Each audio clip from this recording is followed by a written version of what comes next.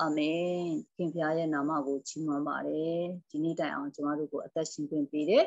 အာပြန်ရှင်တဲ့ခရစ်တော်ကိုအတူတကွမွေးလို့ဝမ်းမြောက်ရတော့အခွင့်ပေးလို့ခင်ဖျားရဲ့နာမကိုချီးမွမ်းပါတယ်ပေါ့နော်ဒီနေ့ကျမတို့အတူတကွမွေးလို့ဝမ်းမြောက်မဲ့အရာကတော့ဗျာဒိတ်ကျမ်းအခန်းကြီး2ရောက်သွားပါပြီ သခင်ဖျားကိုကျေးဇူးတင်တဲ့ဒီမီတင်မှာဆိုလို့ရှိရင်ကျမတို့ကဘာဦးကနေပြီးတော့စပြီးတော့နှုတ်ပတ်တော်ကိုဖတ်ရှုလေ့လာမွေးလို့ဝမ်းမြောက်တဲ့အခါမှာကျမတို့တစ်ချမွေပေါ့နော်ဓမ္မရာဆိုရင်ဓမ္မဆောင်ကိုရောက်ပြီးဒီဘက်ဓမ္မတစ်မှာဆိုရင်လည်းဗျာဒိတ်ကျမ်းအခန်းကြီး2အထိရောက်ပြီးကိုယ်တိုင်တယောက်တည်းဆိုလို့ရှိလို့ရှိရင်အာပြင်းတာလည်း ဖြစ်မယ်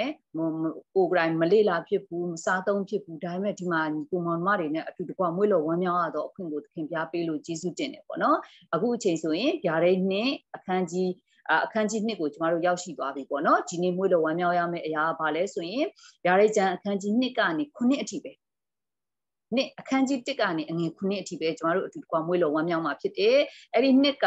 နှစ်ရဲ့1ကနေ9အထိကဘာအကြောင်းအရာလေးပဲပြောရှိလဲဆိုလို့ရှိရင် အေဖက်မြို့၌ရှိသောအသင်းတော်အကြောင်းအရာပဲဖြစ်ပါတယ်။ဒီအခန်းကြီး2အငယ်1ကနေ9အထိပဲအတူတကွမွေးလို့ဝမ်းမြောက်မှာဖြစ်ပါတယ်။အေဖက်မြို့၌ရှိသောအသင်းတော်တစ်ခုတည်းကိုအတူတကွမွေးလို့ဝမ်းမြောက်မှာဖြစ်တယ်ပေါ့နော်။အေဖက်မြို့၌ရှိသောအသင်းတော်ဆိုလို့ရှိရင်ဒီမှာဒီအကြောင်းလေးကိုဆိုရင်နံပါတ်အငယ်1မှာဆိုရင်အေဖက်မြို့၌ရှိသောတဲ့အသင်းတော်ဤတမန်တော်ကိုတဲ့ဤတို့ရေး၍မှားလိုက်တော့တဲ့ လက်ရလက်၌တဲ့ကျက်ခုနှလုံးကိုကင်၍ရွှေမီးခွက်ခုနှလုံးအလယ်၌သွားလာသောသူဤအမိန်တော်ခါဒီမှာဆိုရင်တစ်မှာရောက်ရင်အေဖက်မြို့၌ရှိသောအသင်းတော်အေဖက်ဆိုတာကဂရိဘာသာနဲ့ဆိုရင်တဲ့အလိုရှိတယ်နှစ်လိုခွဲကောင်းတယ်အဆုံးအထိဘုရားအလိုရှိတယ်အဆုံးအထိဘုရားမျှော်လင့်တယ်အရာပဲဖြစ်တယ်ပေါ့နော်ဒါ effect ရဲ့အတိတ်ပဲဖြစ်တယ်အသင်းတော်ကတော့ကျမတို့ effect အာနှစ်23ဆိုရင် အသင်းတော်ကိုခရစ်တော်ရဲ့ကိုယ်ခန္ဓာနဲ့ဆက်လင်းမယ်ဆိုလို့ရှိရင်အသက်နဲ့ဆိုင်ပေါ့နော်ဒါလူသစ်တူနဲ့ဆက်လင်းမယ်ဆိုလို့ရှိရင်ခရစ်တော်ရဲ့ပုဂ္ဂိုလ်ဖြစ်ခြင်းနဲ့သက်ဆိုင်ပြီးတော့ခရစ်တော်ရဲ့သတို့သမီးအနေနဲ့ဆက်လင်းမယ်ဆိုရင်တော့မေတ္တာနဲ့ဆက်ဆိုင်ပေါ့နော်မေတ္တာနဲ့ဆိုင်တဲ့ဒီအေဖက်အသင်းတော်မှာအရေးကြီးတဲ့စကားလုံးက၃လုံးရှိတယ်အဲ့ဒါပါလဲဆိုရင်ချစ်ချင်းမေတ္တာရဲ့အသက်ရဲ့အလင်းရဲ့ပဲဖြစ်တယ်ပေါ့နော်ဒီအေဖက်မျိုးနာရှိသောအသင်းတော်မှာဆိုရင် ချစ်ချင်းမေတ္တာရှိမှဖခင်အပေါ်ချစ်ချင်းမေတ္တာရှိမှအသက်ပင်ရဲ့အတိကိုစားရတော့ခွင့်ရှိ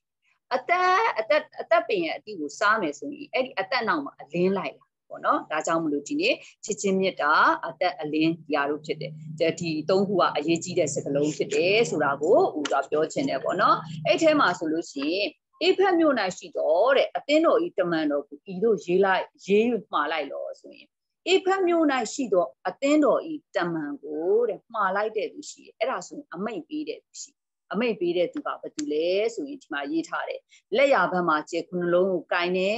အာပြီးတော့ကြတော့ဒီမှာဆိုလို့ရှိရင်ရေးထားတယ်လက်ရလက်၌ကျေခုနှလုံးကိုကင်၍ရွှေမီးခွက်ခုနှလုံးအလယ်၌သွားလာတော်သူအမိန်တော်ကအမိတ်ပေးတဲ့သူကလက်ရလက်မှာဘာကင်ထားလဲဆိုလို့ရှိရင်ကျဲခုနှလုံးကိုကင်နေ ရွှေမီးခွက်ခုနှလုံးအလယ်မှာလဲ့လဲ့သွားလာတဲ့သူကမိတ်နာမိန်ပေးတဲ့သူဖြစ်တယ်ပေါ့နော်ဒါကြောင့်ဒီမှာဆိုလို့ရှိရင်အဲ့ဒီအမိန်ပေးတဲ့သူကဘာတူလဲဆိုတာကိုကျမတို့ကြည့်ပြီးခေပြဲခုနှစ်25အရာဆိုရင်တစ်ဖက်မှာလည်းသခင်ဖရားကဖရားရဲ့လက်ရဘက်မှာထိုင်ပြီးတော့ကျမတို့အတွက်အသင်းတော်အတွက်ရစ်ပရောဟဲ့အဖြစ်ဂျားဝင်ဖြည့်ဖြန့်တောင်းလျှောက်ပြီးတဲ့သူလည်းဖြစ်တယ်ပေါ့နော်ဒါကြောင့်မလို့ဒီမှာဆိုလို့ရှိရင်အဲ့ဒါဆိုရင်ဒီမှာကြဲခွနှလုံး ကြဲခွနှလုံးဆိုတာကဘသူ့ကိုပြောတာလဲဆိုရင်အသင်းတော်ရဲ့တမန်တော်တွေကိုပြောတာဖြစ်တယ်အသင်းတော်ခုနှစ်ပါးရှိတဲ့အထဲမှာမှတစ်ပါးတစ်ပါးစီမှာရှိတဲ့အာကြဲခွနှလုံးကိုကင်ထားတဲ့သူကအသင်းတော်ရဲ့ကြဲဆိုတာကအသင်းတော်ရဲ့တမန်တော်ကိုပြောတာ အသင်းတော်မှာရှိတဲ့တမန်တော်ကဘသူတွေကိုပြောတာလဲဆိုလို့ရှိရင်ဝိညာဉ်ရေးရာရှိတဲ့သူတွေယေရှုခရစ်ရဲ့တက်တည်ခံချက်ကိုဟိုစာဆောင်ဖို့တာဝန်ရှိတဲ့သူတွေပေါ့နော်ဒီမှာကျေကိုပုံဆောင်ထားတယ်ဆိုလို့ရှိရင်သူတို့ကဘလို့လဲဆိုရင်ကျေကဲ့သို့ကောင်းကင်ဆိုင်ရာဘောဓဘာဝတွေရှိတဲ့သူကောင်းကင်ဆိုင်ရာအနေအထားရှိတဲ့သူကိုပြောတာဖြစ်တယ်ပေါ့နော်ဒီမှာဆိုလို့ရှိရင်ကျေဆိုတာကျေခုနှလုံးဆိုတာအသင်းတော်ခုနှစ်ပါးမှာအာအုပ်ချုပ်တဲ့ စီမံတဲ့အသင်းတော်ရဲ့တမန်တော်တွေကိုပြောတာအဲ့ဒီတမန်တော်တွေရဲ့အသက်တာခုနပြောတဲ့အတိုင်းဝိညာဉ်ရေးရာရှိတဲ့သူယေရှုခရစ်ရဲ့တသက်ခံချက်ကိုဆောင်ဖို့တာဝန်ရှိတဲ့သူကောင်းကင်ဆိုင်ရာသဘောတဘာဝရှိတဲ့သူကောင်းကင်ဆိုင်ရာအနေအထားရှိတဲ့သူဖြစ်တယ်ပေါ့နော်ကျေလို့ဘာလို့တင်စားလဲဆိုရင်ကျေဆိုတာညမှာပဲထွန်းလင်းတာအတင်းတော်အသက်တာထဲမှာဆိုရင်မှောင်မိုက်ကြဆင်းတဲ့အခြေအနေမှာဆိုလို့ရှိရင်တဦးစင်းဆိုင်ရာပဲဖြစ်ဖြစ်စုပေါင်းဆိုင်ရာမှာပဲဖြစ်ဖြစ်ထွန်းလင်းခြင်းရှိဖို့ပုံဆောင်ထားတာဖြစ်တယ်ပေါ့နော်ဒါကြောင့် ဒီကနေ့ကျမတို့အရောက်စီတိုင်းရဲ့အသက်တာကဒီမှာဆိုလို့ရှိရင်ဗာပြောထားလဲဆိုရင်အာရွှေမီခွက်ခုနှလုံးဆိုတာကဘာကိုပုံဆောင်လဲဆိုအသင်းတော်ခုနှစ်ပါးကိုပုံဆောင်တယ်အဲ့ဒါကြောင့်မလို့အသင်းတော်ရဲ့တမန်တော်တွေကိုလက်ရလက်မှာကင်ဆွဲပြီးတော့တစ်ဖက်မှာလည်းအသင်းတော်ခုနှစ်ပါးအလဲမှာ သွားလာတဲ့သူရဲ့အမိန့်တော်ကဆိုပြီးတော့ဒီမှာရေးထားတယ်အဲ့ဒါကအမိန့်ပေးသူကိုယ်တိုင်ပဲဖြစ်တယ်အသင်းတော်အလဲမှာဂယူးဆိုင်နေတာခင်ဖျားကိုယ်တိုင်ပဲဖြစ်တယ်ပေါ့နော်ဒီမှာဆိုလို့ရှိရင်အဲ့ဒါလေးကိုဒီအာတစ်မှာဆိုရင်ရတယ်ပေါ့နော်ဒီမှာဆိုရင်အဲ့ဒီဥဆောင်တဲ့တမန်တမန်တော်တွေကိုဆိုရင်တဲ့အာသခင်ဖျားကိုယ်တိုင်ကလက်ရလက်နဲ့ကင်ဆွဲထားတယ်အဲ့ဒါကြောင့်ချီးမွမ်းစရာအကြောင်းဖြစ်တယ်ပေါ့နော်ကျွန်တော်ဒီဟာလေးကိုစင်ကျင်မွေ့တော်တဲ့အခါမှာအယံဝမ်းမြောက်တယ် အိုးတခါလေကျရင်ကျွန်တော်တို့ရဲ့အသက်တာထဲမှာမြန်မာနိုင်ငံဗရန်ပဒါဖြစ်တဲ့အခါမှာဆိုရင်အမှုတော်ဆောင်တွေအများအပြားဗရန်ပဒါဖြစ်တဲ့အထဲမှာပါသွားတဲ့အခါမှာကျွန်တော်အရန်စိုးရိမ်စိုးရိမ်တဲ့အခါမှာဆိုဒီမှာဆိုသခင်ဖျားအော်သခင်ဖျားကိုယ်တိုင်ကအာကျေကိုပုံဆောင်တဲ့ဒီအသင်းတော်ရဲ့တမန်တော်ဝိညာဉ်ရေးရရှိတဲ့သူကိုတဖေသခင်ဘုရားကိုယ်တိုင်ကလှမ်းနဲ့ကင်ဆွဲခံရတဲ့ကင်ဆွဲခံရတဲ့သူတွေဖြစ်တယ်ဆိုတာဘုရားကမြင်စီတယ် အဲ့ဒါကြောင့်သခင်ဘုရားကိုကျွန်မချီးမွမ်းတယ်ပေါ့နော်ဒါကြောင့်ကျွန်မတို့အရောက်စီတိုင်းရဲ့အသက်တာကလည်းချီးမွမ်းဖို့လိုတယ်ဘာဖြစ်ဆိုတော့အသင်းတော်ထဲမှာ အဝိညာဉ်ရရှိတဲ့သူတွေကိုသခင်ဖျားကိုယ်တိုင်ကလက်နဲ့ဆွဲကင်ထားတယ်ဆိုတာကိုကျမတို့ကိုချီးမွမ်းဖို့လိုတယ်။ဒါကြောင့်ကျမတို့ရဲ့အသက်တာထဲမှာပေါ့နော်ဒါလေးကစင်စင်စရာဖြစ်တယ်။ကျမတို့ကိုဥဆောင်တဲ့သူတွေကိုဖျားကိုယ်တော်တိုင်ကလက်ရလက်နဲ့ကင်ထားတဲ့သူတွေဖြစ်တယ်ဆိုတာကိုမြင်ဖို့လိုတယ်။ဥဆောင်သူများကဖျားရဲ့လက်မှာရှိတဲ့အတွက်ကြောင့်နောက်တွန့်စရာလည်းမလိုအားနည်းစရာလည်းမလိုကြောင်းစရာလည်းမလိုဘူးဆိုတဲ့အရာလေးရတယ်ပေါ့နော်။ဒါကြောင့်မလို့ဒီကျဲဆိုတာက အသင်းတော်မှာရှိတဲ့တမန်တော်တွေကိုပြောတာဖြစ်တယ်။ကျဲဆိုလို့ရှိရင်တော့ညအမောင်မှာထွန်းလင်းတဲ့ကျဲပဲပေါ့နော်။ကျဲပဲဒါကြောင့်မလို့ဒီကနေ့ညအမောင်မှာထွန်းလင်းတဲ့ကျဲဖြစ်ဖို့အသင်းတော်ရဲ့တမန်ဖြစ်ဖို့ရန်အတွက်ဘုရားခင်ကကျမတို့အရောက်စီတိုင်းကိုအလိုရှိတယ်။ကျဲတလုံးဖြစ်ဖို့လည်းဘုရားကအလိုရှိတယ်။ဒါကျဲဆိုရင်တော့ဘုရားရဲ့လက်ရလက်နဲ့ကင်ဆွဲထားခံကင်ဆွဲခံရတဲ့ဆောင်သူပဲဖြစ်တယ်ပေါ့နော်။ဒီအရာလေးကိုရတယ်။အာ အသင်းတော်ဒီမှာဆိုရွှေမီကွက်ခုနှလုံးကအသင်းတော်ပဲပြောတာပေါ့ဒီအောက်လေးမှာနှစ်ကိုဆက်သွားမယ်ပေါ့နော်အဲ့မှာ အမိတ်မိတ်နဲ့သူပြီးသွားတဲ့အခါမှာတဲ့တင်းတဲ့ကျင့်တော်အာတင်းအကျင့်ကျင့်ခြင်းပင်ပန်းစွာလှုပ်ဆောင်ခြင်းတိခန့်ခြင်းကိုငါသိ၏တဲ့တင်းဒီမတရားသောသူတို့ကိုလက်မှတ်ခံနိုင်ကြောင်းကို၎င်းတဲ့တမန်တော်မဟုတ်ပဲတဲ့တမန်တော်ဖြစ်အောင်ဆောင်သောသူတို့ဤစစ်ဆေးခြင်းကိုလက်ဖြားသောသူဖြစ်သည်ဟုသိကြောင်းကို၎င်းတဲ့ခံနေနဲ့ပြည့်စုံ၍တဲ့ငါ၏နာမကြောင့်တဲ့ဆင်းရဲခံ၍အာမလျော့ကြောင်းကိုငါသိ၏အမှဆိုရင်အေဖတ်မျိုးမှာရှိတဲ့အသင်းတော်ကို ချီးမွမ်းတာပေါ့နော်အသင်းတော်ရဲ့ကောင်းမြတ်ခြင်းအားသာချက်တွေကိုပြောထားတာဖြစ်တယ်အဲ့ဒီမှာဆိုလို့ရှိရင်အဲ့ဒီမှာအမိတ်မိတ်တဲ့သူကသခင်ဘုရားကိုယ်တိုင်ကဘာပြောလဲဆိုရင်ဖျားအတွက်ဆိုရင်များစွာအကျင့်တွေကိုလှုပ်ဆောင်တယ်ပြင်းရခြင်းမရှိဘူးရော့ရဲခြင်းမရှိဘူးပင်ပန်းစွာလှုပ်ဆောင်တယ်လို့ရေးထားတယ်အလုတ်လုတ်တာနဲ့ပင်ပန်းစွာလှုပ်ဆောင်တာနဲ့မတူဘူး။ဘာလဲဆိုရင်အလုတ်လုတ်တယ်ဆိုရင်လှုပ်လိုက်တယ်ဆိုလို့ရှိရင်တာမန်ပဲ။ဒါပေမဲ့ဒီမှာပင်ပန်းစွာလှုပ်ဆောင်တယ်ဆိုတာရေးထားတာအထူးလှုပ်ဆောင် ထူးလှုပ်ဆောင်တာအရန်နဲ့လှုပ်ဆောင်တာပေါ့နော်အထူးတက်လေလှုပ်တာလှုပ်ဆောင်ခြင်းရှိတယ်ပြီးတော့တိခန့်ခြင်းလည်းရှိတယ်တဲ့ဆင်းရဲခြင်းကိုတိခန့်တယ်တဲ့အဲ့ဒါလည်းပြောထားတယ်နောက်တစ်ချက်ကဒါမတရားသောသူတို့ကိုလက်မခံဘူးတဲ့မတရားသောသူတို့ကိုတိမခံအဲအိဖက်မြို့နိုင်ရှိသောအသင်းတော်မှာကြာ तू ကဆင်းရဲဒုက္ခကို तू ကတိခန့်ဒါပေမဲ့ तू ကမတရားတာကိုတော့လုံးဝတိမခံဘူးပေါ့နော် အဲ့ဒါလေးကိုတွေ့ရတယ်အဲ့ဒါလေးကိုဝမ်းမြောက်ရတယ်မတရားသောသူတို့ကိုလက်မခံဘူးမတရားသောသူတို့ကိုလည်းတီးမခံဘူးသူကဆင်းရဲဒုက္ခမှာသာတီးခံတာပြီးတော့တမန်တော်မဟုတ်ဘူးတဲ့တမန်တော်ဖြစ်အောင်ဆောင်တဲ့သူတွေကိုလည်းပိုင်းခြားမြင်တတ်တယ်ငင်းပယ်တတ်တယ်စစ်ဆေးတတ်တယ်သူဟာတမန်တော်ဟုတ်သလားတမန်တော်ဖြစ်အောင်ဆောင်သလားဆိုအဲ့လိုခွဲခြားမြင်တတ်တဲ့အရေးအချင်းကအိဖက်အသင်းတော်မှာအိဖက်မြို့မှာရှိတဲ့အသင်းတော်ရဲ့အသက်တာ အသက်တာတွေကိုပြောထားတာဖြစ်တယ်ပြီးတော့ခန္ဒီနဲ့ပြည့်စုံနေတဲ့ဖះနာမှာကြောင့်ဒုက္ခဆင်းရဲခံနေတဲ့အာမရော့ဘူးတဲ့ဒီမှာဆိုလို့ရှိရင်အေဖက်မြို့ရဲ့အာတာချက်အသင်းတော်ရဲ့အာတာချက်ကောင်းတဲ့အကျင့်တွေအသင်းတော်ကောင်းမြတ်ချက်ဟိုအသင်းတော်ကောင်းမြတ်တဲ့အကြောင်းအရာတွေကိုပြောထားတာဖြစ်တယ်ပေါ့နော်အေဖက်ရဲ့အသင်းတော်ကိုကြည့်မယ်ဆိုရင်ကောင်းမြတ်ခြင်းတွေနဲ့ဆက်လင်းပြီးတော့ဆိုရင်စဉ်းစားရင်အသင်းတော်ကကောင်းမွန်တဲ့စင်ကြယ်တဲ့မှန်ကန်မှုရှိပြီးစံချိန်မိတဲ့အသင်းတော်ဖြစ်တယ် ကောင်းတဲ့အချက်တွေအားသာချက်တွေကိုပဲကြည့်လိုက်မယ်ဆိုရင်အေဖက်အသင်းတော်ကစံချိန်မိတယ်ပေါ့နော်နောက်ထပ်သူ့မှာကောင်းတာတစ်ချက်ရှိသေးတယ်အဲ့ဒါ6ကိုဆင်သွားမယ်နော်ငွေ6မှာဆိုသို့တော်လေတဲ့ငါမုံသောနိကောလာတပည့်တို့အကျင့်ကိုလေတဲ့တင်ဒီမုံဒီဟုပြောစရာရှိသည်သူအားမှာအရန်ကောင်းတဲ့အချက်တွေပြည့်စုံတဲ့အပြင်နိကောလာဝါဒလည်းဖျားမုံနဲ့နိကောလာတပည့်တို့ရဲ့အကျင့်ကိုလည်းအဲ့ဒီအေးဖက်မှာရှိတဲ့အတင်းသူအတင်းသားတွေကလည်းမုံတယ်ဆိုတာကိုတွေ့ရတယ်အဲ့ဒါလည်းအေးဖက်မျိုးရဲ့အာသာချက်တစ်ချက်ဖြစ်တယ်ပေါ့နော် ဒီမှာဆိုလို့ရှိရင်နီကိုလာရဲ့ဒီမှာဆိုရင်နီကိုလာတပည့်တို့ရဲ့အကျင့်နီကိုလာတပည့်တို့ရဲ့အကျင့်ဆိုတာကတန့်ရှင်းသူများအလယ်မှာဆိုရင်အခြားသောသူများကိုအုပ်ချုပ်ဖို့သူ့ကိုသူခံထားတဲ့ယာဒူမျိုးပြောတယ်ပေါ့နော်အခုခေတ်ဆိုရင်ဆရာနဲ့တပည့်ယာဒူဖုန်ကြီးနဲ့တာမန်လူအဲ့လိုခွဲခြားဆက်ဆံတဲ့စနစ်အဲ့လိုစနစ်ကိုဘုရားကမကြိုက် ဒီလိုပဲအေးဖတ်မြို့မှာရှိတဲ့အတင်းတော်အတင်းတော်မှာရှိတဲ့အတင်းသူအတင်းသားယုံကြည်သူတွေကလည်းဖရာသခင်မကြိုက်တဲ့နီကောလာတပည့်တို့အကျင့်ကိုလေသူတို့ကယုံဝုန်းတယ်အေးဖတ်မြို့ရဲ့အတင်းတော်မှာဆိုနီကောလာတပည့်ဝါဒတွေတွင်တင်ခြင်းတွေလုံးဝမရှိဘူးအဲ့ဒါလေးကအေဖက်မျိုးရဲ့ကောင်းတဲ့အားတာချက်ဖြစ်တယ်ပေါ့နော်။ဒါကြောင့်စစ်မှန်တော့အတင်းတော်မှာဆိုလို့ရှိရင်ဘုံကြီးမရှိဘူးတာမန်လူမရှိဘူးယုံကြည်သူအားလုံးကရစ်ပရောဟိတ်ပဲဖြစ်တယ်။ယုံကြည်သူအားလုံးကရစ်ပရောဟိတ်ဖြစ်တယ်။အရောက်တိုင်းကဖះနဲ့ဓာတ်ရိုက်အစီခံလို့ရတယ်ဓာတ်ရိုက်ထိတွေ့လို့ရတယ် ဂျားလူမလို့ဘူး။ဒါပေမဲ့နီကိုလာရဲ့အကျင့်ကြတော့ဂျားလူလို့အာသူဘလို့လူလဲဆိုလို့ရှိရင်ဖုန်းတော်ကြီးကအပြစ်ဖြစ်ပြီးမှဖုန်းတော်ကြီးမှာဖះနဲ့ဆက်သွယ်ပြီးမှဒါမျိုးအဲ့လိုမျိုးအကျင့်အေးဖတ်မြို့မှာမရှိဘူးပေါ့နော်ဒါကအေးဖတ်မြို့ရဲ့အာသာချက်ကောင်းမြတ်ခြင်းအာသာချက်ပဲဖြစ်တယ်ပေါ့နော် ဒါကြောင့်မို့အေဖက်မျိုးမှာရှိတဲ့အသင်းတော်မှာရှိတဲ့အာတာချက်ကပါကောင်းမြတ်ခြင်းတွေနဲ့ဆက်လင်းမှုစဉ်းစားမယ်ဆိုရင်အသင်းတော်ကကောင်းမွန်ပြီးတော့စင်ကြယ်တယ်မှန်ကန်မှုရှိတဲ့စံချိန်မီတဲ့အသင်းတော်ဖြစ်တယ်ဆိုတာကိုတွေ့ရတယ်ပေါ့နော်အဲ့ဒီမှာ तू ကအာအာမလျော့ကြောင့်အကျင့်တွေကိုသိပြီလို့ပြောတဲ့အခါမှာ၄ရောက်လာတဲ့အခါမှာသို့တော်လေတဲ့အဲ့လိုနှုတ်ဘတ်တော်တိုင်းနှုတ်ဘတ်တော်တိုင်းမှာသို့တော်လဲခံထားလို့ရှိရင်အဲ့ဒါကစင်ကျင်စရာဖြစ်တယ် သူကကောင်းတဲ့ဟာတွေကိုပြောသို့တော်လေတဲ့တင်ဒီရှုဥစွာသောချစ်ချင်းမေတ္တာယော့ပြီဟုတင်၌အပြစ်တင်စရာရှိ၏ဘုရားကအာတာချက်တွေအများကြီးထဲကမှအားနည်းချက်တစ်ချက်လေးကိုထောက်ပြလိုက်တယ်အဲ့ဒီတစ်ချက်ကဘာလဲဆိုလို့ရှိရင်ရှေ့ဦးသောရှေ့ဦးစွာသောချစ်ချင်းမေတ္တာယော့ပြီအဲ့ဒီတစ်ချက်လေးပဲအပြစ်တင်ခွင့်ရှိတယ်တဲ့ဘုရားကဘာလို့တတိပေးလဲအဲ့ဒါတတိပေးတဲ့အချက်ပဲဒီကနေ့ကျမတို့အရောက်စီတိုင်းအတင်းတော်အသက်တာမှာရှိတဲ့သူအရောက်စီတိုင်း တရားတတိပေးတဲ့အချက်ကအဲ့ဒီအရာပဲဖြစ်တယ်ပေါ့။ဘာဖြစ်လို့ဒီရှေ့ဦးမြစ်တာကြာရော့သွားပြီးတာကိုဘုရားတတိပေးရလဲဆိုလို့ရှိရင်အသင်းတော်တိုင်းရဲ့ကြာဆင်းရတဲ့အကြောင်းအရင်းကဘာလဲဆိုလို့ရှိရင်ရှေ့ဦးမြစ်တာရော့ခြင်းပဲဖြစ်တယ်ပေါ့နော်။ဒီမှာဆိုအေဖက်မြို့မှာရှိတဲ့အသင်းတော်ကကောင်းမြတ်ခြင်းတွေအများကြီးရှိပြီလေ။သူ့မှာရှေ့ဦးမြစ်တာရော့နေသွားခြင်းကြောင့်ကြာဆင်းရခြင်းဖြစ်တယ်။ဖះနဲ့လူကြားမှာဆိုလို့ရှိရင်မှန်ကန်တဲ့ဆွမ်းနယ်မှုကမြစ်တာအဖြစ်စောင့်သိမ့်ပြီးတယ်။ဖះနဲ့လူကြားမှာလည်းမြစ်တာဒီနေ့လူလူချင်းကြား အာယုံကြည်သူအယောက်စီတိုင်းညီကိုမောင်နှမတွေကြားထဲမှာလည်းမေတ္တာကပဲစောင့်ထိန်ပြီးတဲ့အရာဖြစ်တယ်။ဒါကြောင့်မလို့ဘုရားကတစ်ချက်ပဲထောက်လိုက်တယ်။ရှေ့ဦးမေတ္တာယော့ပြီးတင်တိုင်းအပြစ်တင်စရာရှိတယ်။တတိပေးလိုက်တယ်။ဘာဖြစ်လို့လဲဆိုရင်ဒီရှေ့ဦးမေတ္တာယော့ခြင်းကအသင်းတော်ကြာစင်ကြအကြောင်းဖြစ်တယ်ဆိုတာကိုတတိပေးတယ်ပေါ့နော်။ဒါကြောင့်မလို့အသင်းတော်ကြာစင်ခြင်းရဲ့အဆင့်ရဲ့မူလအရင်းမြစ်ကဘာလဲဆိုရင်ရှေ့ဦးမြစ်တာရော့ခြင်းပဲဖြစ်တယ်တဲ့ကျမတို့ရဲ့အသက်တာထဲမှာသခင်ဘုရားအတွက်ဆိုရင်ကျမတို့က အလုပ်တွေအများကြီးလှုပ်ဆောင်တယ်အကျင့်ကျင့်တယ်အဲအေးဖက်အသင်းတော်မှာရှိတဲ့ကောင်းမြတ်ခြင်းတွေအရောက်စီတိုင်းမှာလည်းရှိနိုင်တယ်အသင်းတော်တိုင်းမှာလည်းရှိနိုင်ပဲဒါပေမဲ့အဲ့ဓာတွေအားလုံးဆုံးရှုံးသွား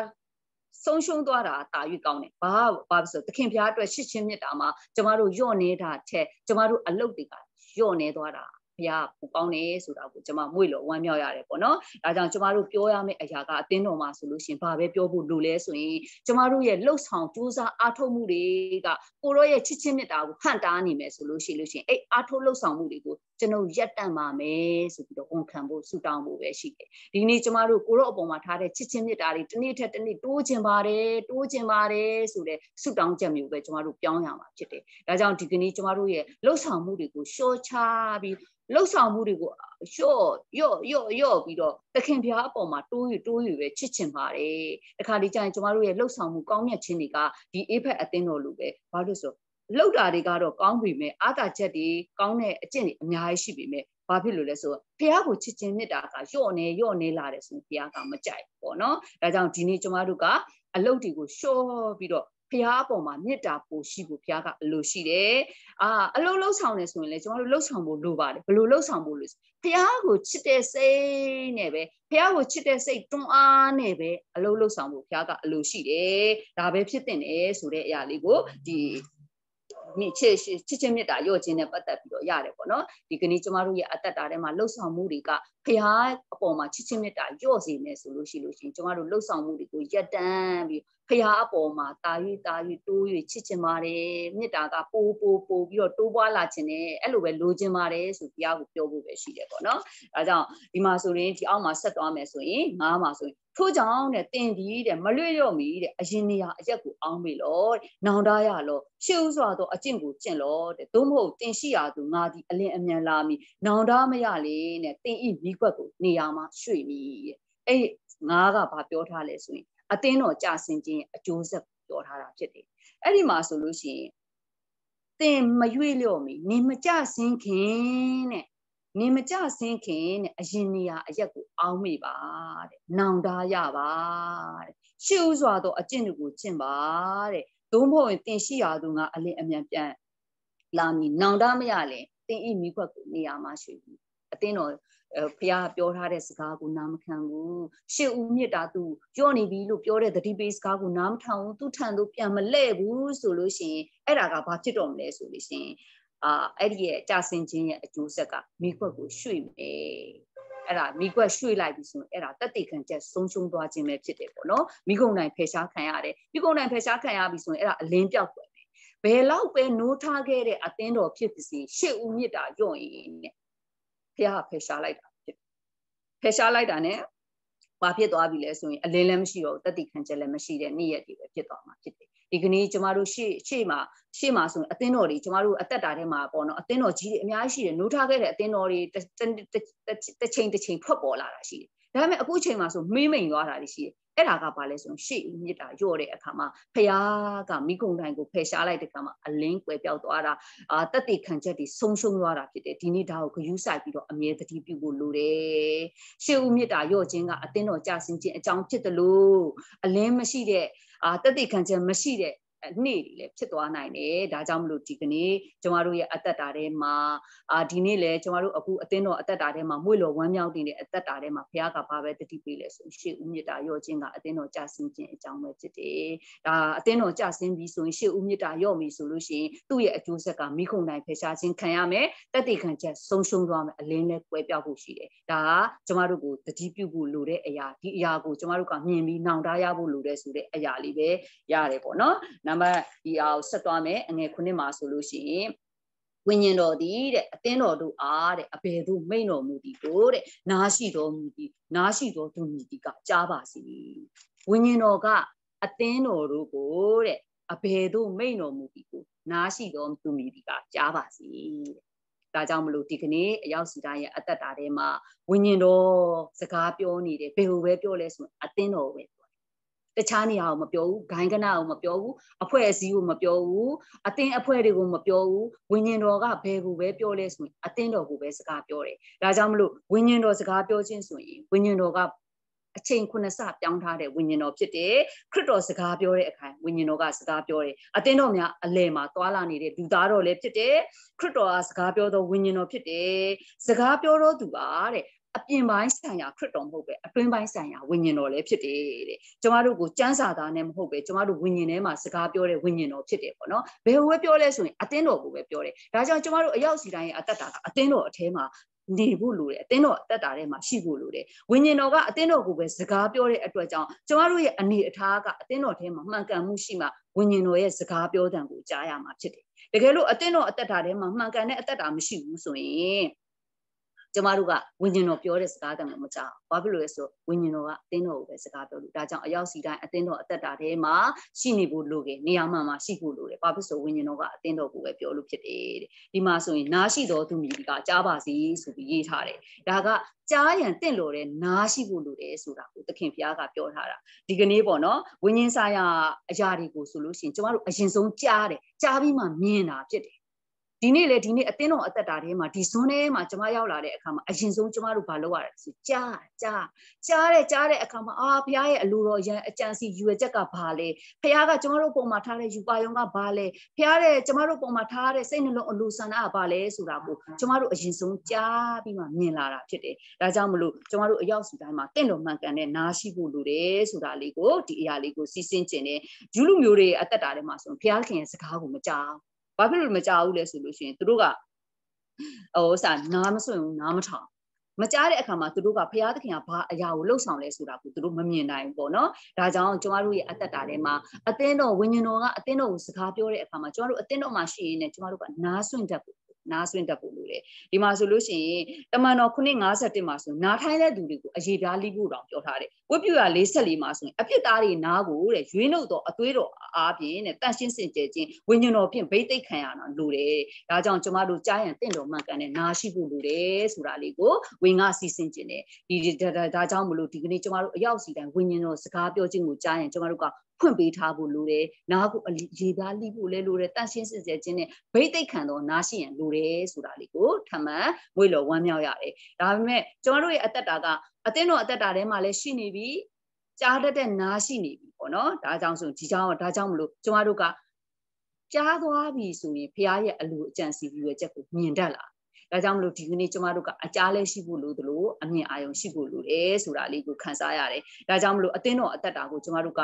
မြင်ဖို့လဲလိုသလိုအာအခုဆိုရင်ကျမတို့အသင်းတော်အသက်တာထဲမှာဆိုလို့ရှိရင်အခုကင်မရာမဖွင့်ဘဲနဲ့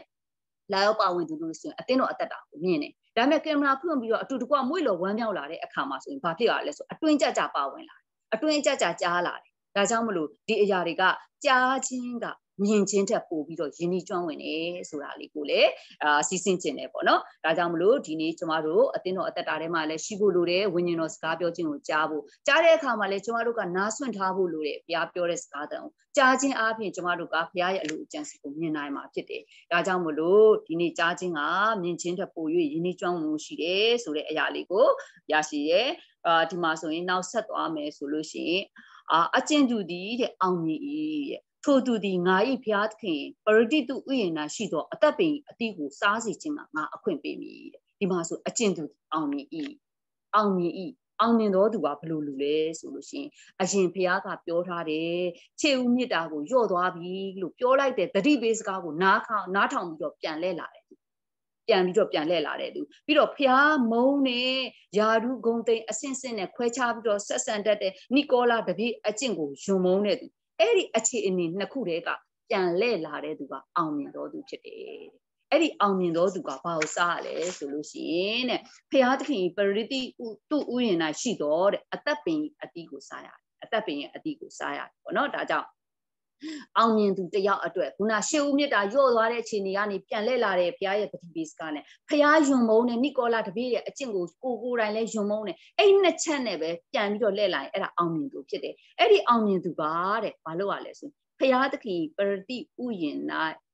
ရှိသောအသက်ပင်ဤအတိကိုစားစီခြင်းကအခွင့်ပေးမိတယ်အဲ့ဒါအောင်မြင်သူအခုဂတိတော်ပဲဖြစ်တယ် အသက်ပင်ကိုစားရခြင်းပေါ့နော်ဒီကနေ့အောင်မြင်သူကဘုရားကအသက်ပင်ရဲ့အတိကိုစားဖို့အခွင့်ပေးထားတယ်ဆိုတာတွေ့ရတယ်ကျွန်တော်တို့ဘာသာတရားတွေမှာဆိုလို့ရှိရင်အမြဲတမ်းတွန့်တင်ခြင်းကိုပဲပြုတယ်ဒါပေမဲ့သခင်ရှုရဲ့အသက်တာထဲမှာဆိုလို့ရှိရင်ယောဟန်6:35ဆိုရင်ငါဒီအသက်မုတ်ဖြစ်တယ်ကျွေးမွေးတာကိုပြောတယ်တမန်တော်ရှင်ဘောလူရဲ့အသက်တာထဲမှာလည်းတစ်ကော3နှစ်မှာဆိုလို့ရှိရင်ယုံကြည်သူများကိုသူကကျွေးမွေးဖို့ပဲပြောတယ်ပေါ့နော်ဒါလေးကိုကျွန်မအရန်ကြိုက်ဘာဖြစ်လို့လဲဆိုရင်ကျွန်တော်တို့ရဲ့အသက်တာထဲမှာ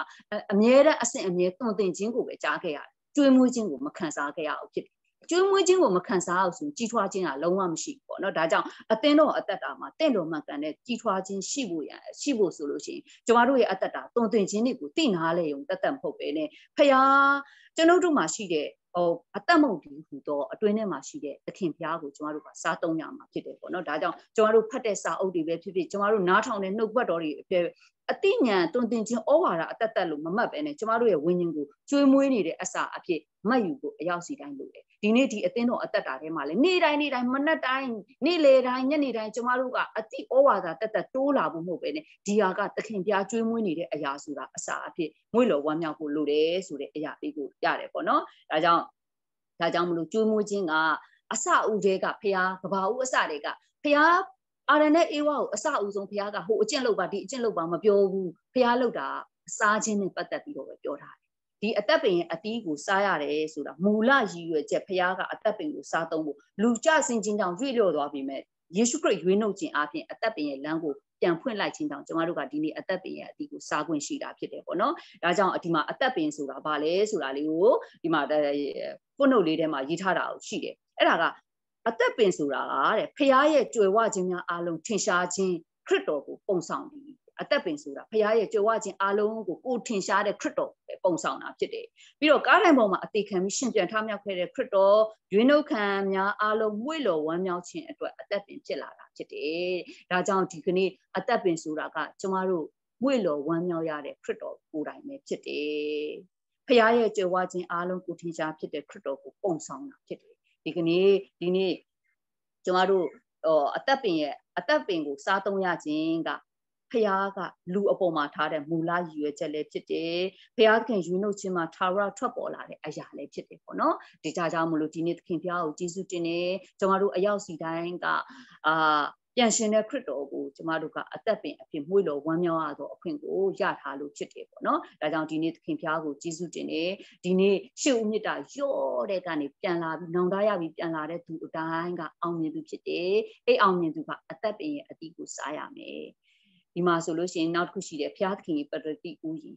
အဲ့ဒါလေးလည်းသိဖို့လိုတယ်ဘုရားသခင်ရဲ့ပတ္တိဥယျင်ဆိုတာဒီမှာပြောထားတဲ့ဥယျင်ဆိုတာအေဒင်ဥယျင်မဟုတ်ဘူး အေဒင်ဥယျင်မဟုတ်ဘူးလာမဲ့ယေရုရှလင်မြို့သစ်ဖြစ်တယ်ဆိုတာကိုကျမတို့သိထားဖို့လိုတယ်ဒီနေ့အသင်းတော်ကဒီအရာကိုမီးစမ်းခွင့်ရနေတယ်ဘာလို့ဆိုတော့ယေရုရှလင်မြို့သစ်ရဲ့ပုံစံငယ်ဖြစ်တဲ့အသင်းတော်အသင်းတော်ဒီနေ့အသင်းတော်ကယေရုရှလင်မြို့တရဲ့ပုံစံနဲ့ဖြစ်တယ်ဒီနေ့အသင်းတော်အသက်တာထဲမှာပဲအခုကျမတို့ဒီဇုံမစ်တင်ကလည်းခရစ်တော်နာယုံကြည်သူအယောက်စီတိုင်းစုဝေးထားတာအသင်းတော်ဖြစ်တယ်အသင်းတော်မှာကျမတို့ရဲ့အသက်ပင်တည်ဟူသောယေရှုခရစ်တော်ကိုဝိလော်ဝမ်းမြောက်နေကြတာဖြစ်တယ်ဒီနေ့ဒါက ကျမတို့ကအခုမြည်ဆန်းပြီးတော့မွေလော်ဝမ်းမြောက်နေရတာဖြစ်တယ်ဒီအေဖက်အသင်းတော်ကိုဗာပြောချင်တာလဲဆိုရင်ဖျားပေးထားတဲ့ကတိရပါလဲဆိုရင်ဒီနေ့အသင်းတော်အသက်တာထဲမှာခရစ်တော်ကိုအသက်ပင်အဖြစ်